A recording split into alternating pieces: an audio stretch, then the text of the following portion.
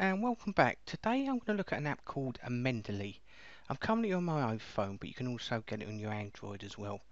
I'll just get you up and running quickly. So first download Mendeley. Once you have Mendeley, open it for me. Now top left hand corner I want you to select where it should have your username and profile. Now you've got four options there. The first option allows you to sync to your server online, which I showed at the end of the video so you know how to do that. And that's great to share your references and sources with maybe your desktop app on your PC or maybe you've got it on your, your Mac or maybe just want to share it with a server and other people. So if I select sync now it will automatically sync any references from the web server. Now you see at the bottom there it's got groups. You can add groups through your web server. I'll show you that later as well. But go back to your top left hand corner option. Next, select your profile. Make sure you set that up correctly. You can add your academic degree, institution and education if you wish. Go to settings and choose what you want to do there. Choice is yours. Now come back out of there. I'm going to click close. Now see at the top we've got my library and we've got various options. We've already got some folders there for example, recently added down to my publications. What you can do first is select the add button and you can create a new folder. Select create folder, depending on obviously what you're going to be sourcing. So I just put in history as an example and select save. Now it goes straight into the folder. Now if you come back out top left hand corner, you can see I've now added that folder at the bottom there. You can add as many folders as you want. Now I'm ready to go. Before I do, just top right hand corner select edit. If you don't want that folder, if you click edit, you can then delete it. But I do not want to do that, so I'll select done. So I'm going to open up my history folder. Now I'm ready to do some research. Now I'm going to come out of the app and I'm going to open up Safari. I'm going to search Google Scholar. Open it up. I'm going to find any source to do with history. I'm going to scroll down see if I can find a journal.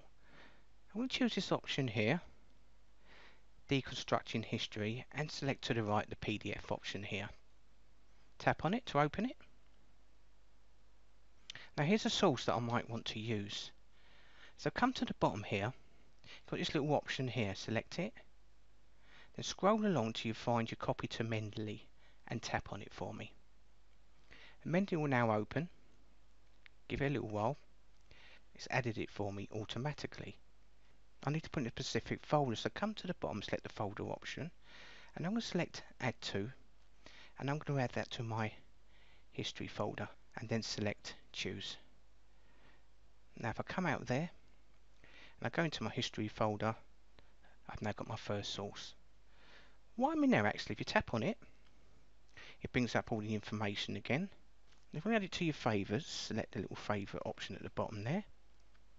But what I want to do is come up to edit and select on it. Now at the top it says reference type. Just double check that. It says it's a report. So I'm going to leave it as that. It's got the title. It hasn't got the author. So any information that's missing, click plus and you can add that information separately there.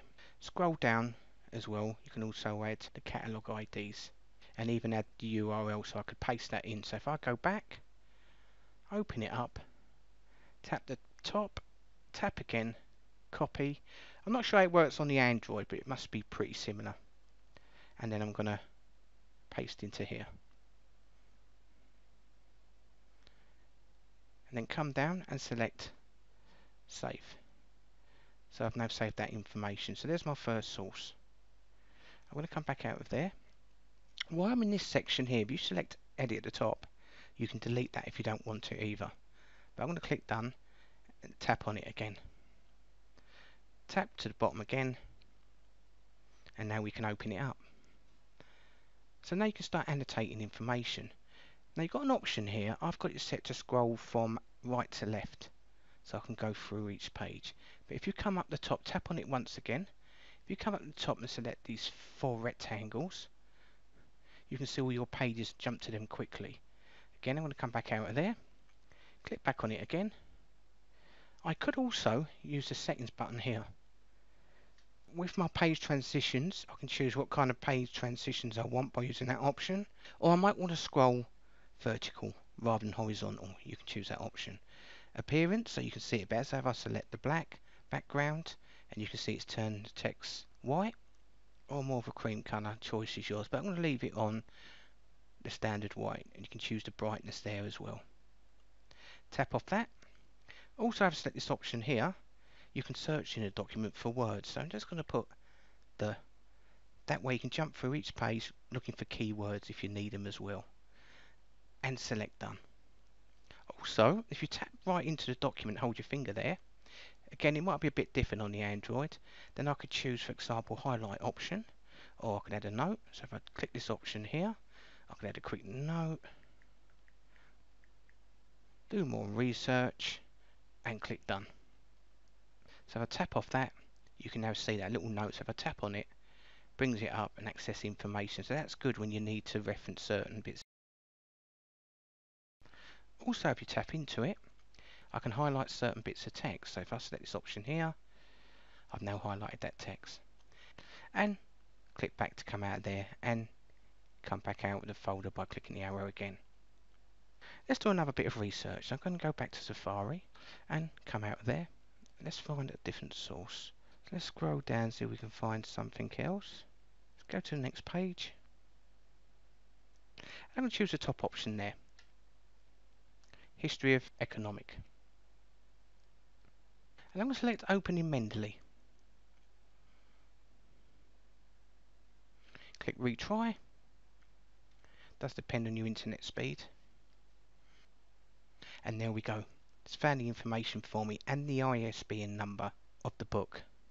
So now if I click the bottom file, should be able to open it up and then I can go through the information and find what I'm looking for. Remember tap back on it once, you can add your options at the top again. I want to come back out there, come back out there again. Now if you go to the top all documents, these are all the documents you've downloaded in case you feel you've lost them. So there's the one I've just added. So if I click back on it, go to the folder option, and I'm going to add that to my history folder. So keep everything organized. And select choose. Now we've got catalogue IDs. Click to the right of the catalogue ID. It will go to worldcat.org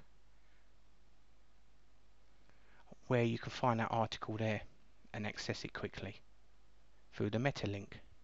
But I'm going to go back to Mendeley now if I go back again to the bottom bit to access the actual information, if I go top right here, it should give me an outline. And there you've got half title, title, and all your chapters to go through so you can access the information quickly. You don't get that with every source, but worth a look at. And select back. And go back to all documents, and back to your main window. So in history, you can see I've now got that safely in there. Now if I come to the top right hand corner, select this option here, and you can sort them by if you prefer title, author, or year, and then it'll put them in the order that you select. Now quick thing I want to show you, come to the bottom where it says feed. Give it a second to refresh. Now this might take a little while to update. Now I, this will try and give you any articles that's related to the ones you've just company downloaded, so worth a look at. But it can take a little while, I've noticed. Sometimes it's taken up to 10-15 minutes. But see how you get on with that. And then you can scroll down and you might see something you think is quite useful. You can select the link or select add to your library and then select open document. And again remember, organize stuff. Go to the bottom, select your folder, either trash it or add it to the folder that you require and select choose and close. So let me go back to library. Once you've grabbed all your sources that you require, if I come back out of here and go back to the main window, this is where you can go to your profile name and select sync now. This will sync information to the internet which you can then share. So I'm going to go into history, so I'm going to add a source. I'm going to add the history of economic analysis. Let's come back out because I want the folder option. Select folder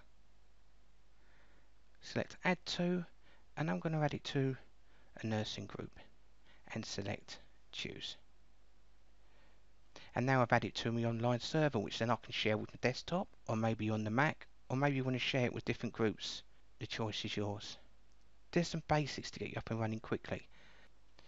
So it's okay syncing, but where do you actually sync your sources to? Open up your browser for me, whatever you're using, and type in there for me web Mendeley. And select web Mendeley. Now if you haven't already signed up, I have. Select sign up or sign in. And I'm already in. So have a look to the left here. Remember when we last looked at the app, I uploaded that, that history of economics source and I sent it to nursing. So if I now select nursing, here it is. I can now view it in the library, add it to my favourites. I can even post in a group. So if I select post in group, I can share that information with other people that's also researching. I can select invite members if you've got any, then type in who you want to share your sources with. So it's so easy to do. If you look at my video tutorial on the desktop Mendeley for Mac and PC, you can also sync it from there and share. So you can sync it across multiple medias quite easily. And that's how easy it is to use. Thanks for watching.